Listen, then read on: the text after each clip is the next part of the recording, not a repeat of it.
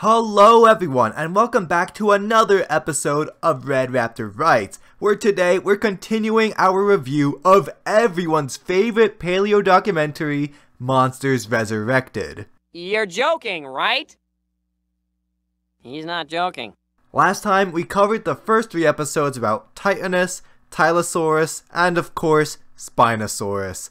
I would have loved to discuss that Karkar more, or maybe the Ginsu shark, but they barely made a cameo, so here we are. Nah, instead, we're talking about the last three episodes of Monsters Resurrected, which focus on the bear dog Amphicyon, Acrocanthosaurus, and Megalania, each awesome predators that have yet to appear on this channel.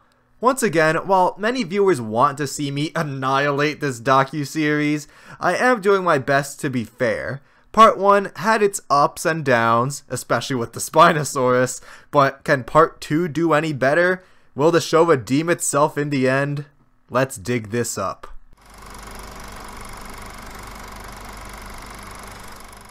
Last time, I found myself surprised by the vast amount of compliments there were to give. We saw many problems too, but yeah, don't count out Monsters Resurrected just yet. Episode 4 features the humpbacked Acrocanthosaurus. For the thousandth time, a creature is compared to the other giant North American predator, Tyrannosaurus rex.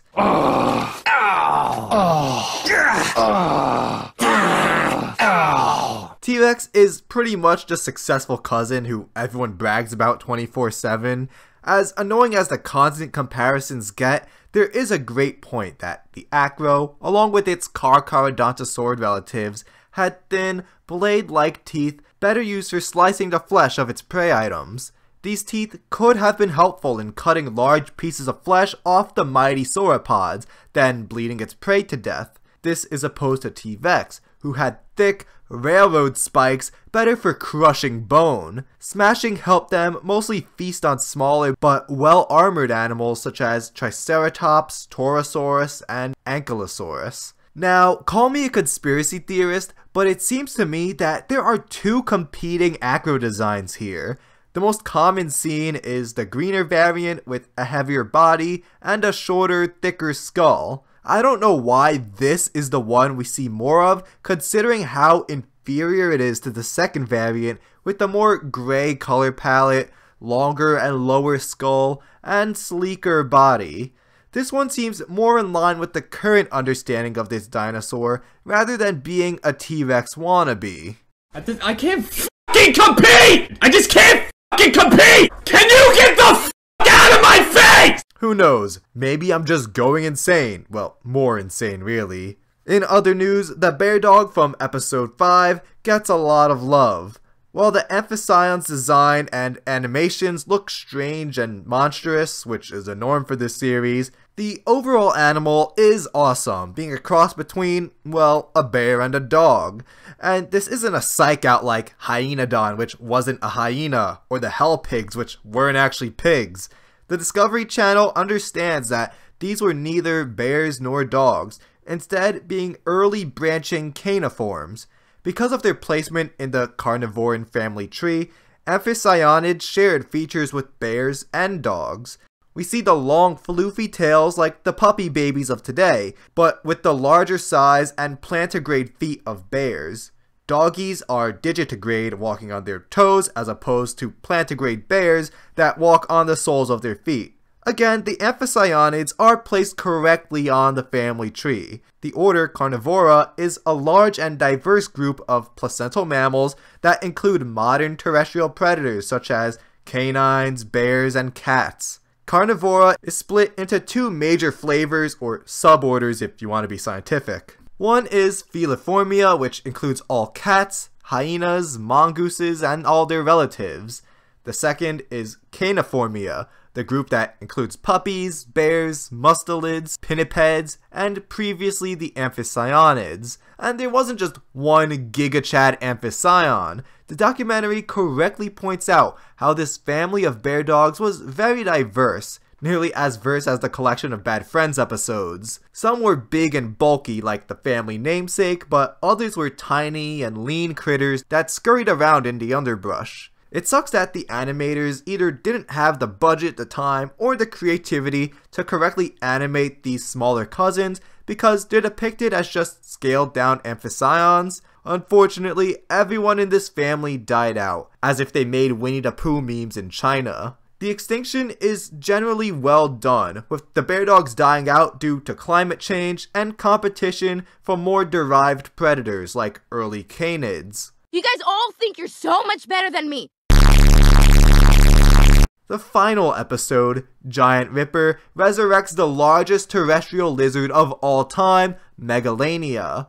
In Monsters Resurrected, it's shown off as pretty much just a giant monitor lizard, which, yeah, fair enough. These were monitor lizards, very closely related to the scaly boys we see today, but around 20 feet long. Size estimates have varied over the years due to the incompleteness of their remains and various methods used for scaling up their remains from their relatives. The comparisons made between the young and the old are very reasonable. For example, in Jurassic Fight Club, gosh we have to mention that again, the writers went with the Komodo dragon myth that they carry extra deadly bacteria in their mouths to help kill prey. Resurrected gets the one up on those chumps by debunking this idea and realizing that monitor lizards have glands in their mouths to mix venom in with their spit.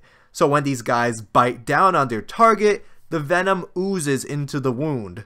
The venom then acts as an anticoagulant to prevent clotting and lowers blood pressure, causing the victim to bleed to death. Well, it still beats experiencing Topher Grace's Venom, and Tom Hardy's if we're being honest. Some of the side entries get a fair amount of love too. The marsupial lion is featured alongside its lizardly contemporary and is spot on, or should I say, striped on, considering how these guys were striped. Thank goodness I'm not a dad yet, or the jokes will get even worse. Experts believe this since cave paintings featuring Thylacoleo show stripes running down their body. Unfortunately, those early humans weren't the best artists. We got no marsupial lion NFTs, but hey, stripes. The rest of the portrayal checks out too, with a short, wide face filled with these very strange buck teeth that may look goofy but would have been deadly. These predators also possessed a large thumb claw on each hand, which was useful for either climbing, slashing, or both. A somewhat or arboreal lifestyle is explored by Discovery, which is on point. The other carnivore, Epicyon, is also done justice. While these were early canids, much like the pups we have today, their differences are exhibited too. For one thing, Epicyon is correctly shown with a larger head but a shorter snoot. Couple these with teeth similar to a hyena, and we see a picture of a bone crushing animal, allowing them to get more nutrients out of a carcass than their competition. Both Diprotodon and Procoptodon are appropriately strange. If you think Australia is a bad place today, where everything wants to kill you, just wait until you see how it was 50,000 years ago. Weird cat wannabes striking from trees, giant lizards, and 8 foot tall kangaroos, it was a mess. The Procoptodon isn't simply the big Roo, but had a flat face unlike any other, with forward-facing eyes. This was the trend for its subfamily called Sthenurinae. And finally, those Diprotodons are stated to have been the largest marsupials ever, which they were. You'd have to be on some serious drugs to screw them up, so thankfully that isn't the case. Their snoots are as big as their hearts. Like the other megafauna featured, humans did come into contact with Diprotodon. Their interactions, along with climate change, may have been the cause for their extinction.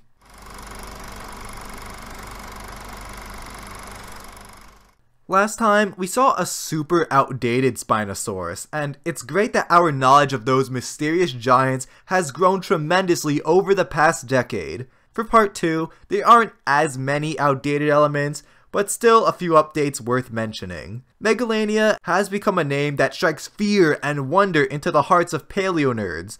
However, that name is no longer valid since it was more closely related to some monitor lizards than other species within the Varanus genus. So, as common sense would have it, Megalania priscus is now Varanus priscus. Nowadays, and for the purposes of this video, Megalania is used as an unscientific nickname. In the Great American Predator episode, Acrocanthosaurus hunts and slaughters a sauropod called Paluxysaurus, named after the Paluxy River in Texas, where its remains and trackways have been found. Unfortunately for the filmmakers, more finds of sauropod remains caused the genus to be synonymized with Sauroposeidon in 2012. So, like Megalania, the name Paluxysaurus is invalid. Lastly, the final episode shows Procoptodon hopping around like the kangaroos we love today, but looking at the hip and leg anatomy of them and their close relatives, scientists find it unlikely that they could have hopped. Instead, they would have walked upright on two legs to get around. And interestingly enough, if you throw a modern kangaroo into a pool, it'll paddle its legs back and forth like a walking motion we're more used to. So they do have the ability to walk. That feature is just tucked away inside their brains.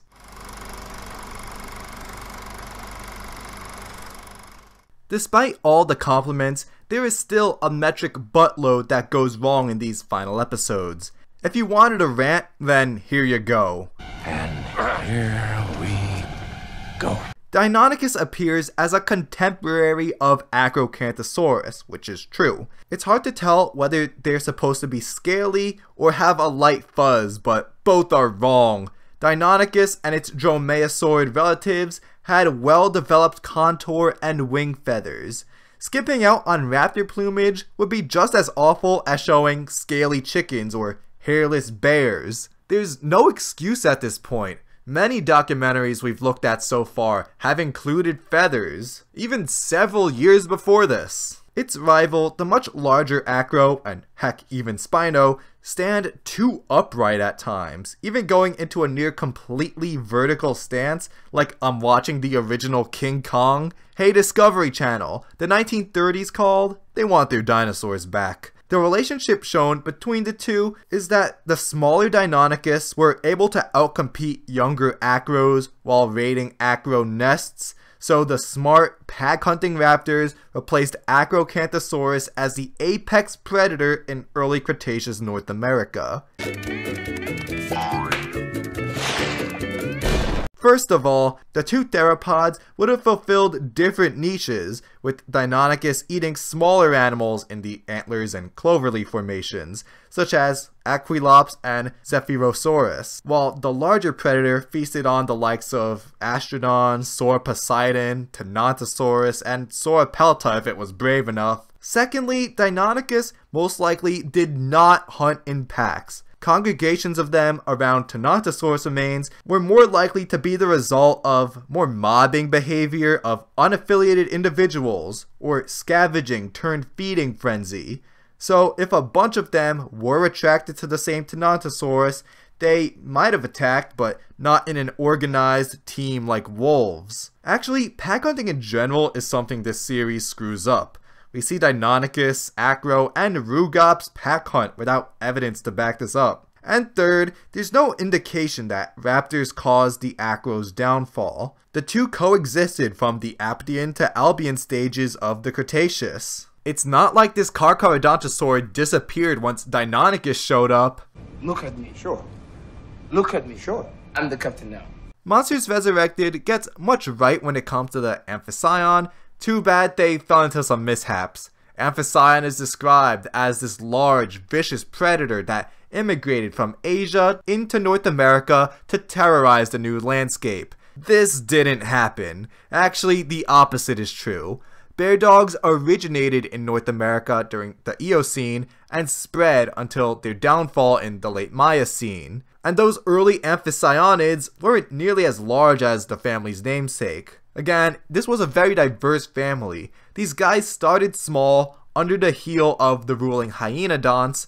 It was only when the Hyaenodonts died out that the bear dogs grew to take their place. In the same episode, audiences are introduced to Dinohyus, which totally boggles my mind. For a decade at this point, Dinohyus had been synonymized with the North American entelodont Daeodon shoshonensis. While I'm on the subject, many comparisons have been made between the entelodonts and pigs, with the family even earning the nickname Hell Pigs. Despite morphological similarities, the Daeodon and friends weren't pigs. Instead, they belonged to a clade with hippos and cetaceans that I won't even attempt to pronounce. I'm sure I butcher half the names anyways, but let me cut my losses here. It's been joked about a thousand times before. Ever since its discovery, people have been saying, haha, isn't it funny that T-Rex has such small arms and they were probably good for nothing. Never heard that one before. Well, this show falls into that same trap when comparing the Acro and the Tyrannosaurus. When in actuality, T-Rex had very strong arms that still clearly had a lot of function. They were able to individually curl over 400 pounds. So very clearly they were lifting something. We have to dispel the myth that T-Rex had vestigial arms that were useless. Alright, let's close this out with a silly comment made by the narrator. Acrocanthosaurus is called the first meat eater in North America evolved to take down large prey. What? Hey, screw Allosaurus, Torvosaurus, and Saurophaganax. They're total losers, right? North America had large sauropods before the Acro arrived, and plenty of large predators to take advantage of the food source. To erase millions of years of prehistory like that is crazy.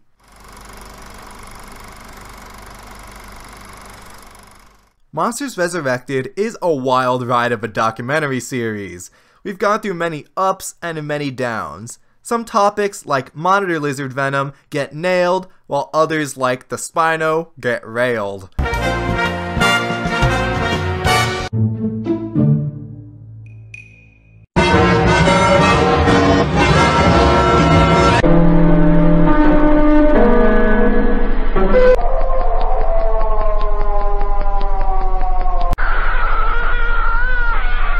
I don't know why there's such a gap in quality. Maybe an actually talented and brilliant writer died in the middle of the script and their less talented sibling came in to finish it. Too bad that sibling got a hold of the Spino and Acro episodes because the rest were decent. I'm actually surprised at how much this paleo documentary still works. I expected nothing but a nightmare scenario. So even if you guys want me to slap an F on this, I need to be fair and give Discovery Channel's Monsters Resurrected the very first D. Not great by any stretch of the imagination, but honestly, with all things considered, not the worst either. It just occurred to me that Jack Horner's Scavenger Rex idea was so bad that it couldn't even beat the 273 foot Spino.